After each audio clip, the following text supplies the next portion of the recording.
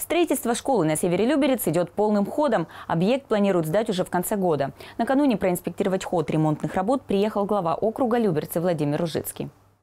Сейчас объект находится на завершающей стадии строительства. Здесь уже провели все необходимые коммуникации. На данный момент в здании ведутся отделочные работы. Укладка линолеума и кафеля, заливка полов, побелка и покраска стен. Цветовые решения подобраны таким образом, чтобы дети лучше усваивали материал и не уставали на уроках. Школа состоит из трех корпусов. Первый и третий рассчитаны для занятий. Во втором находится библиотека, медиатека, столовая на 450 мест, два спортзала, тренажерный и актовый залы. Я оцениваю, очень комфортная, просторная.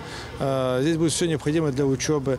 Э, Ну, скажем, здесь актовый зал на 710 мест. Это, по сути, дом культуры. Э, Столовая будет 450 посадочных мест.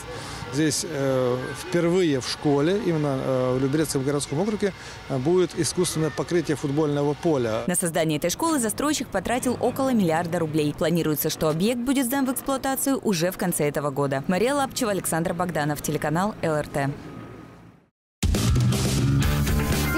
Привет! Я Анна Троян, вы смотрите ЛРТ. Подписывайтесь на наш канал на Ютубе и ставьте лайки. Будьте в курсе самых важных событий.